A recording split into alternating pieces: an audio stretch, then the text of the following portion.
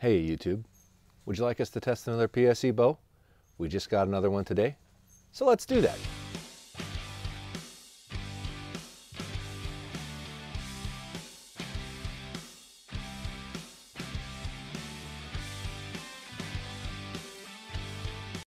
Hello and welcome back to the YouTube channel. MFJJ here with Podium Archer talking about the PSE Evo XF30E2.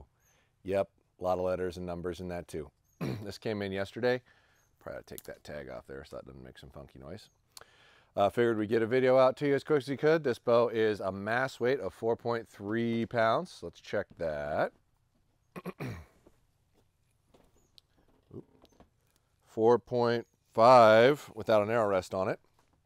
So We'll do draw lengths are 27 and a half to 31 and a half, which is an awfully long draw length for this short of a bow, which means this cam is really designed for a longer draw. Um, speed is supposed to be 337 to 345. Axle to axle is 29 and 5 eighths. So let's check that for you. Mm, I'd say it's more like three quarters, but it's only an eighth off. Yeah, three quarters. Brace height is six and three quarter inches.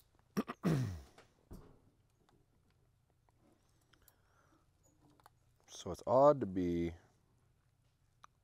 so that's like six and five eighths. So it's really a little shy of that number and really a little long of that number. Uh, eighth each way. Let's measure the amount of reflex in the riser. This isn't going to be terrible by any means. It's two and three eighths to two and a half, two and three eighths, I'd say. Uh, and the overall riser length from limb pocket to where it touches the limb, limb pocket to where it touches the limb, is 25 and 3 eighths for a 29 and 5 eighths bow. It's a reasonably long riser, but not as long as some. So let's uh, throw an arrow rest on this thing and we'll run a few arrows through it.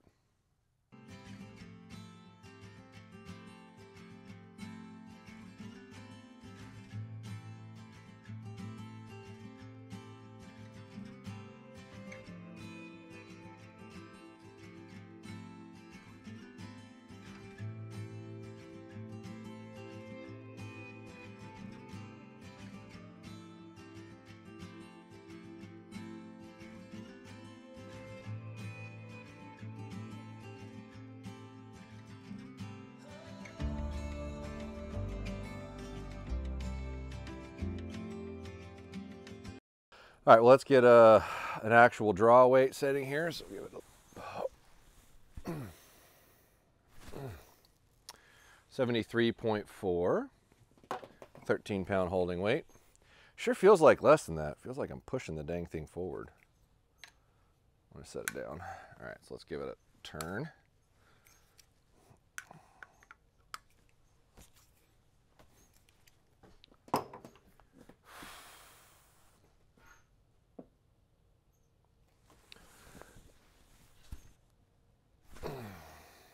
71. We'll give it a quarter down. That should get us within a pound.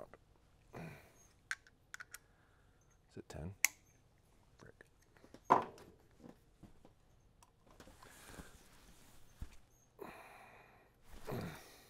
it just turned off again.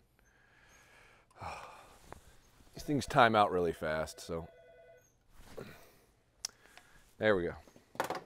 All right, let's uh, take a couple shots with it, see how it feels.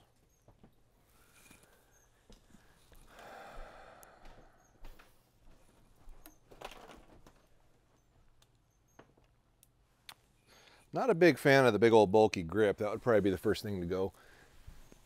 Oh. It's a little stiff, you know, similar to that cam and other bows I've tried. It's a hard pulling cam, but that's where the speed's coming from. still vibrating, still vibrating, stopped. So it's like the uh, 33 inch counterpart we tried. It, it vibrates for quite a while. It's not loud by any means. It just sits there and vibrates.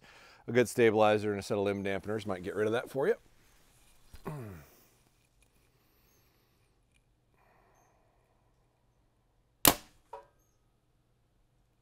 Doesn't have any forward bump in it, but it just kind of vibrates for a while and vibrates for a while. So.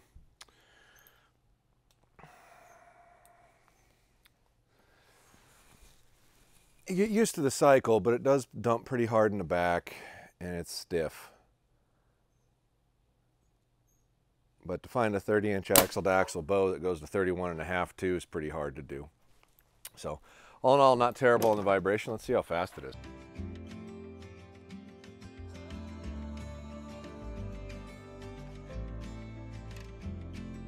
So this is a 70 pounds, 30 inches, 350 grain arrow on an Evo XF 30 E2.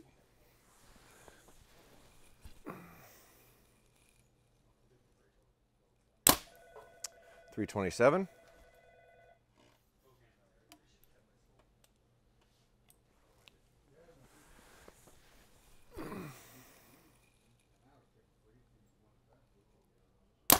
Three twenty-six.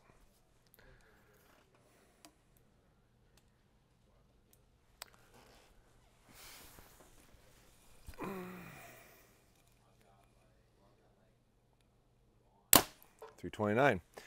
So I'll call that 327 overall. All right. So really very fast bow for its size. Now granted, it's still more than 10 feet slow of its uh, published low end because its high end is 345, its low end is 337. But for a six and three quarter inch brace height or six and five eighths inch brace height, 30 axle to axle bow, that's pretty snappy. Um, like I said, there is some ting. It's pretty noticeable. Like if you test fire it against uh, another high-end bow, you'll probably notice this bow vibrating quite a bit before the other one dissipates completely, but you know, you're gonna get more vibration and noise when you increase speed. So this bow is winning a speed game as far as its overall spec, but not by a ton. Not sure if that's worth the difference between the, the felt vibration, uh, personally, because it does have a bit of vibration after the shot, and that is gonna dissipate as a little bit more noise than the next bow when you are actually shooting it out in the field and when you're hunting. So that's something to consider. Um, but all in all, it is a it is a relatively well built bow. Everything seems relatively square. Once again, this big bulky grip, not my uh, personal fave. I'd probably just take it off and wrap it in some black athletic tape. But all in all, it's uh, it's pretty darn fast. So if you're a speed freak or you're looking for a short axle to axle bow and you have a really long draw length, like you know beyond 30 inches, it's going to be one of your only choices. So it's definitely something to consider and look at and with this with a small wheelbase is probably going to perform pretty darn good at those shorter draw lengths too if they're offering that. So head on over to podiumarcher.com for all your archery needs. $99 and up is free shipping. Um, hit like, hit subscribe, keep coming back.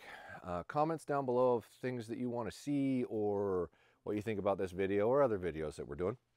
Changes you'd like to see made, other things you want us to check and test. If it's feasible for us to do it, we will uh, head on over to the Instagram and follow along there. I'm really going to start posting some stuff here coming quick about what we're heading to do in the future and the other video things that we're working on that are beyond what we've been doing already. So hopefully you guys like what we're doing um, and keep following along and keep coming back. Appreciate your info, guys.